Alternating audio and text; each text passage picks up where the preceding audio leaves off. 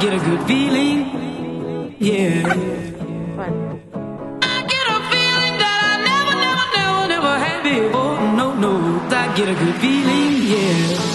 Oh, sometimes I get a good feeling. Yeah. Global warming is the long term rise of the planet's temperature caused by increased concentrations of greenhouse gases in the atmosphere.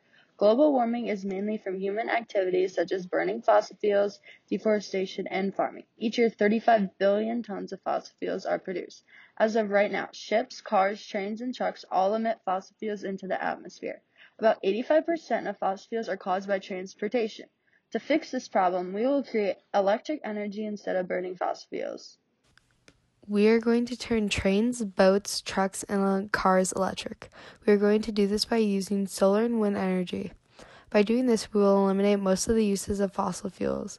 Because transportation is one of the biggest problems and causes most of the pollution problems, we think it is best to use solar power because the sun will never go away and will always be accessible.